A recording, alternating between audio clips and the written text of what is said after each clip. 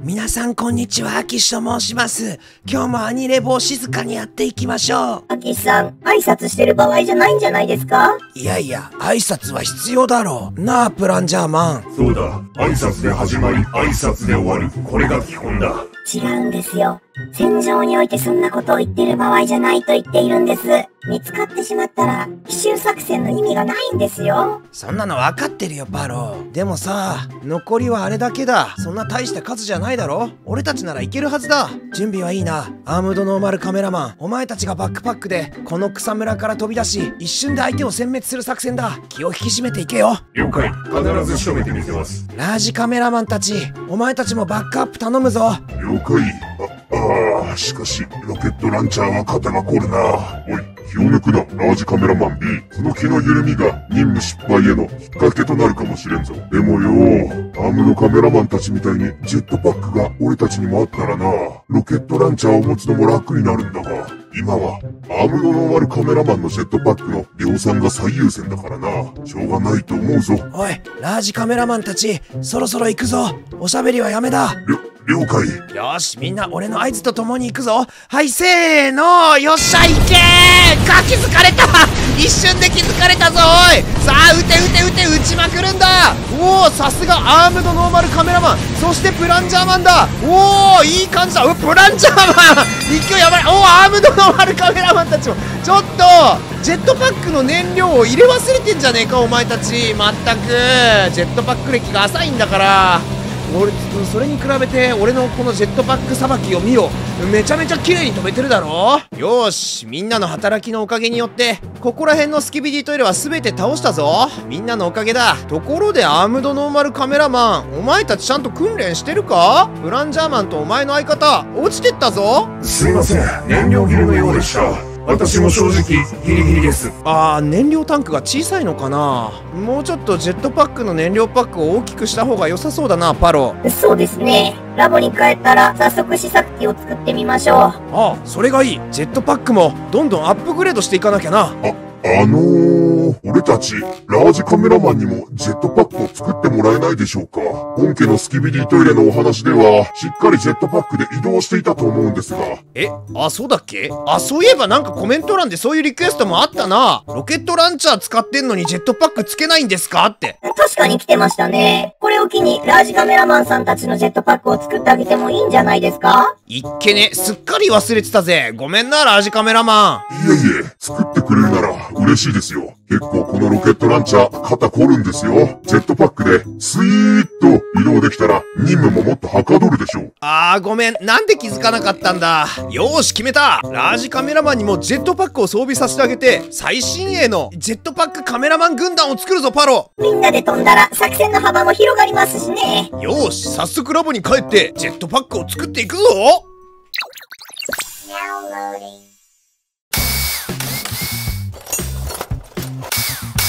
よーしこんなもんか燃料タンク大きくなりましたね。ああ、勢い余って、ジェットパックを吹かしすぎた。アームドノーマルカメラマン。俺についてこいとは言ったが、何も一緒に落ちろとは言っていないぞ。あー何？そういうことだったの？もうおっちょこちょいなんだからさあ、それではアキシさん。次は、ラージカメラマンさんのジェットパックを作ってあげましょう。おおおそうだったそうだった。早速作っていこうぜ。あ、あれ、アキシさん。ひょっとして今忘れてました？わ忘れるわけねえだろ。3歩歩いて忘れてたら鶏じゃねえか。俺はカエルだ。どんなものでもクラフトする。青ガエルの秋した俺のことよ。あれアキシさんって青ガエルだったんですか？体は緑なのに？ううるせえ。体が緑の青ガエルもいるんだよ。紛らわしいですね。そういえば、アキシ、お前は一体何なんだ？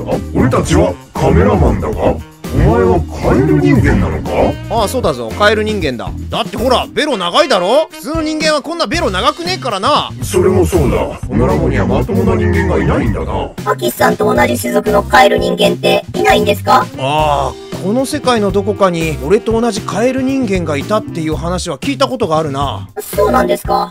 ダークアキシさんのことじゃなくて？お前設定忘れてんのか？ダークアキシはパラレルワールドのアキシだぞもう一人のアキシと言っても過言ではないああ、そうでしたっけ？紛らわしいですね。おほん。あ、あのそろそろ俺のジェットパックを作ってもらってもああすまんすまんラージカメラマン話が脱線しまったもう、アキさんの悪い癖ですよ。おいパロ今日はなんか俺に対して手厳しいなそうですか？いつもこんなんですよ。まあいっか。よし気合い入れてラージカメラマンの背中にジェットパックを装着させてやるぞ。待ってろよラージカメラマン。およろしくお願いしますさあまずはチャッとラージカメラマンの本体を作ってそしてだなジェットパックを装備していくんだよな。さあこれで機動力アップだ。さあ右手にはロケットランチャーを装備していく。さあそして最後にレンズをつけたら完成だ。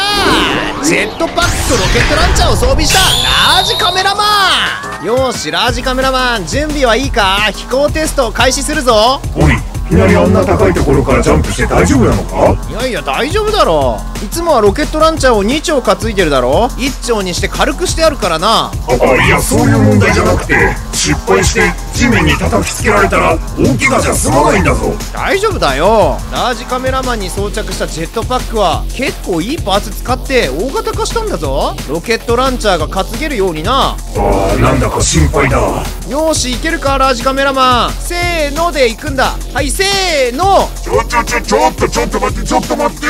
おいどうしたんだよ。これじゃテストにならないだろ。いやあのー、大変言いづらいんだが俺高所恐怖症なんだよねおいじゃあなんでジェットパック作ってくれって言ったんだよ。そそれは他のラージカメラマンです。私は高いところが苦手なんです。なんであいつをテスト係に任命したんだプランジャーマン。な、なんだ、俺のせいにするつもりか？一番近くにいたラージカメラマンを連れてきただけだ。大丈夫ですよ、ラージカメラマンさん。そのジェットパックにはパラシュートがついています。安全対策はバッチリのはずですよ。そうそうそうだよそうだよ。危ねえ伝え忘れてた。ありがとうパロ。よーし大胆なビリー。準備はいいか。もちろんです。大胆なビリーをはい20人。大胆にスタンバイ完了いたしました。いつでも来てくださいラージカメラマンさん。どんと来いです。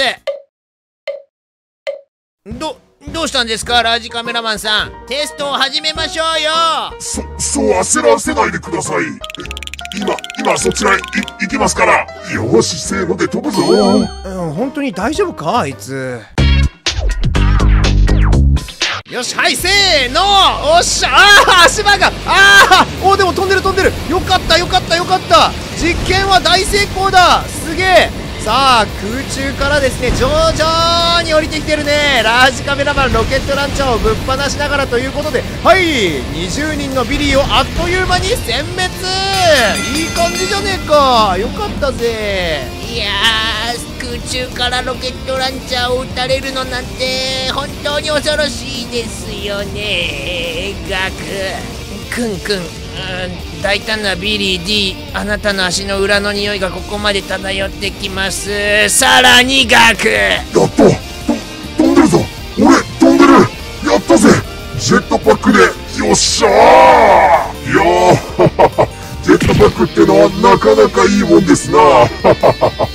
いやいやずっこけちゃってんじゃん着地失敗してあーでもよかったぜ足場が崩れた時はヒヤッとしたよ実験は大成功ですね。これで他のラージカメラマンさんにもジェットパックを量産して配ることができます。となれば、カメラマン軍団はさらに強化されたことになるな。よーしパロジェットバッグを量産するぞ承知いたしました。コンピューターに頼みましょう。ラージカメラマンのジェットパックをスキャン中。スキャン完了まで、3、2、1。スキャン完了。よーし。データの読み取りは OK だな。今スキャンした情報をスペシャル 3D プリンターに入力して、量産を開始してくれ、コンピューター。了解いたしました。これで OK ですね。次は何をするんですか、アキスさん。おお、そうだな。今はラージカメラマン、ロケットランチャーを1丁しか持ってねえからな。2丁持った状態で飛べるかをテストしていきたい。だ大丈夫ですかね重くて飛べないんじゃないですか？いやそもそも2丁持ってたら移動が遅いから作ってくれっていうリクエストだったんだよ。なるほど。そうなんですね。そのテストは別のラージカメラマンでやっていただいてもよろしいでしょうか？あーまたビビってんなこいつ。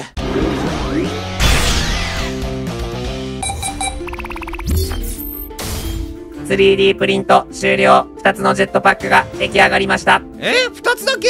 今あるパーツの量ではそれが限界です。まあ2つできただけでもよしとするかよし演習場にやってきたぞプランジャーマン準備はいいか？ああ、ジェットパックの量産に成功したんだな。ラージカメラマン3体のジェットパックロケットランチャー部隊か。ああプランジャーマン。本気でいかないと負けるかもしれねえぞ。よーしダブルロケットランチャーを背負った状態でジェットパックが機能するか。早速テストしていこうぜ。せっかくだからプランジャーマンたちにも演習に協力してもらうことにしたんだ。なるほど。出力はだいぶ安定しています。これならいけるかもしれません。よっしゃー。ジェットパックラージカメラマン VS ジェットパックノーマルカメラマンたちの勝負。演習開始。よっしゃーどうだ？おお飛び立ったぞ。ラージカメラマンたちいい感じだ。ダブルロケットランチャーでもどうやら飛べるみたいだな。さあアームドノーマルカメラマン1体を倒したぞ。ロケットランチャーさえ当たればっていう感じだね。おお次々にロケットランチャーで破壊していく。おおすげえすげえすげえすげえいい感じだぞ。プランチャーマンぶっ飛ばしてんじゃん。ロケットランチャーはね命中率が悪いけれども命中したらかなりノックバックできるからな。おおよしよしよし。強いラージカメラマン。ジェットパックうまく使いこなしてんじゃん。よっしゃー。おいプランチャーマン。お前めっちゃ遠くまで行っちゃってんじゃん。ロケットランチャーが直撃したぞ。あ撃ち落とされてる。ハエみたいによくぞご無事でおおめちゃめちゃ強えなアームドノーマルカメラマンもなかなかの攻撃力と機動力だけど攻撃力ならそれをやっぱり上回ってるな体力もあるしこりゃ空中部隊の新戦力だぞあのパラシュートって本当に開くんですよね。それを信じて飛んでいるんですが、あああきっと大丈夫だと思うぞだから安心して戦ってくれ本当ですかね。ビクビクしながら飛んでもこの強さです。ジェットバック作ってよかったですね。いや本当にそうだな.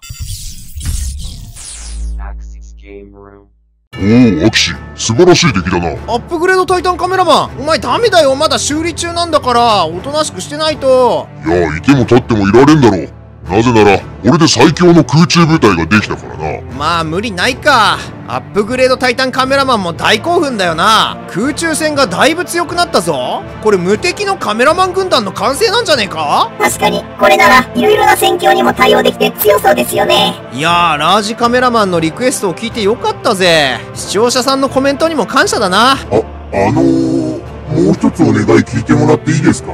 えなんだ？まだなんか作ってほしいのか？アームドノーマルカメラマンのように、ロケットランチャーじゃなくて、ビーム兵器も使ってみたいんです。それからそれから、私たちのリーダーを作ってください。カメラマンのリーダーが、ブランジャーマンとブルースエツカメラマンでしょ？私たちのリーダーも欲しいんです。